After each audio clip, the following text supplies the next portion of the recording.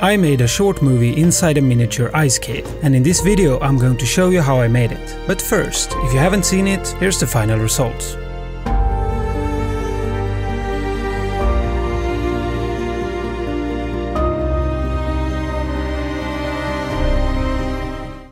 To make this video, we need some gear. I used a Laowa probe lens, a camera, a slider and a saucepan filled with some blue water. After letting the saucepan spend 24 hours in the freezer, I had a pretty decent block of ice to work with. So now it was molding time. And I found that the easiest way to mold it was just by pouring hot water on it. I slowly poured boiling water to create small and precise holes. And I used hot running water to create bigger, less exact holes.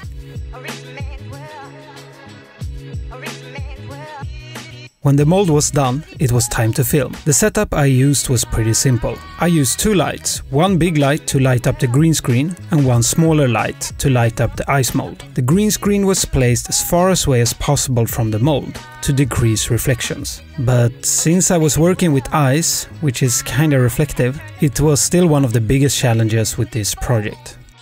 After shooting a few takes, the raw footage looked like this. The first step I took was to color grade the footage to bring out the contrast between the green screen and the ice mold. When the contrast is higher, the Ultra key works better to remove the green screen. If you zoom in, you can see that the Ultra key is not perfect. There's a lot of jitter around the edges, but for this project I thought it was good enough. Now that the two holes were transparent, I added this beautiful sky that I downloaded from Pexels. Mixed that together with some fake snow and that's how I got this beautiful opening scene.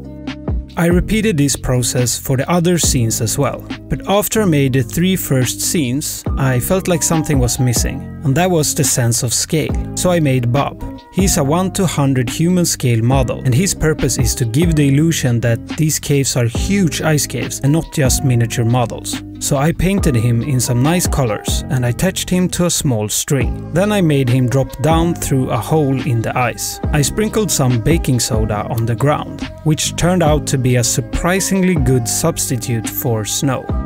I filmed this scene in 120 FPS, so I could slow down the movement and make Bob's descent smooth.